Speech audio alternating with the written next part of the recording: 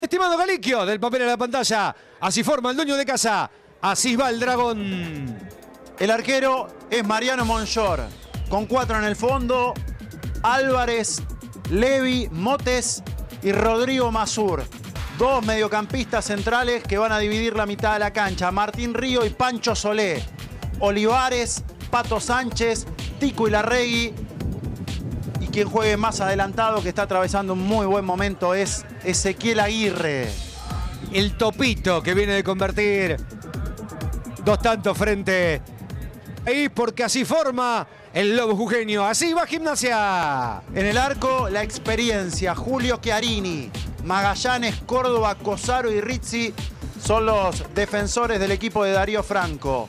Kiosa, Maidana, Belegia, Méndez. En la mitad de la cancha se van a soltar Palavecino y el más adelantado Leandro González, que seguramente en algún momento del partido. Levi. Levi se adelante. Corta, bien Cosaro. Después la entrega mal Palavecino. Se la regaló Solé. Viene Solé. La pide la Regui. La soltó bien Solé. Llega Sánchez. Va el pato. A ver qué hace Sánchez. Sánchez el centro. Lo tiene y la Regui. Gol. ¡Gol!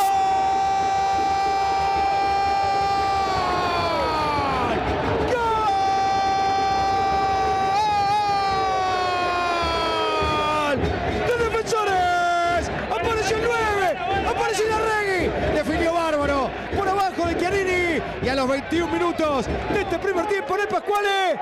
Por el 9. Defensores 1. Gimnasia 0. Y así estaba planteado el partido. Una pérdida costosa. Una buena pelota de Pancho Solé que no puede cerrar Magallanes. Llega hasta el fondo el centro preciso de Pato Sánchez, que había tenido el gol en sus pies en la anterior. En esta, el que no perdonó es el de Curuzú Cuatiá. No perdonó Tico y Larregui, que venía de marcar justamente ante Almirante. Y adelanta al Dragón, que escala al sexto puesto. El aplauso para Pato Sánchez tras la asistencia al Tico. Bueno, es parte importante de Argentino Monte Maíz en el torneo federal que busca un lugar en la Primera Nacional. De central, Pancho, Mire de usted. central, de central. El hijo del técnico del Lobo Jugenio. Viene para Maidana. Maidana. Palavecino. La pide González. Viene Palavecino. Palavecino. ¡Golazo! ¡Gol!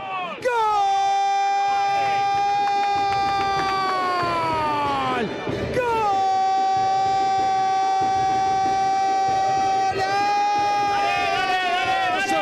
¡De Gimnasia! ¡Pero qué pedazo de gol hiciste, Palavecino! A los 39 minutos de este primer tiempo definió Bárbaro el 9. Juega un montón el zurdo. Y ahora en el Pascuale, Defensores 1, Gimnasia 1. Venía de clavarla desde una posición similar ante San Martín. En condición de local en Jujuy le dieron el tiempo, el espacio. Levantó la cabeza para ver si cambiaba al lado opuesto. Pudo conducir y a técnica individual, a jerarquía. Este zurdo que juega un montón, que salió de Rosario. Esto que es atrás. Álvarez. Olivares, el toque de primera, termina rotando Maidana, no hay mano. Y ahora juega González, la soltó bien para Maidana. Y viene Beltramone, a ver qué hace. Beltramone la soltó para Palavecino. Y dale, Palavecino al medio, Beltramone. Y está, tapó Monchor. Tapó Monchor.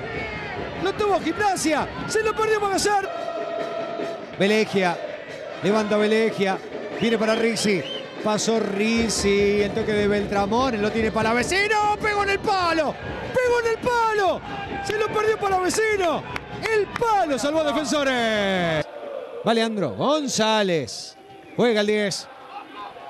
Levi, el rebote, lo termina favoreciendo Velázquez, la soltó para Palavecino y lo puede ganar Gimnasia. Viene Palavecino, define Palavecino, gol, gol.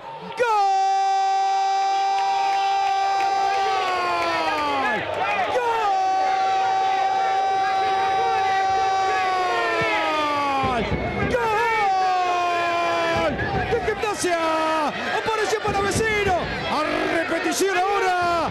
Marca el segundo. ¡Gana el Lobo! En el Pascuale. Por Palavecino. Gimnasia 2. Defensores. Defensores 1. Y si hay un futbolista en este momento del campeonato que quizá tienen que ir a buscar los que van a jugar el reducido es este. Es Palavecino. De una pelota que se saca de encima Leandro González. Y una pelota que le rebota, que le queda larga a Levi, conduce hasta el final, remata cruzado, lo va relojeando a Monchor y la definición, el desahogo. Franco y Frontini. Y Frontini ahora sentado ya sin dar indicaciones. Cuando el árbitro marca el final del encuentro, ha ganado Gimnasia. Venció a Defensores de Belgrano de Pascuale 2 a 1 con dos goles de Palavecino. El Dragón pierde después de 15 partidos como local y el Lobo vuelve a la victoria después de 10 sin ganar fuera de su hermosa provincia.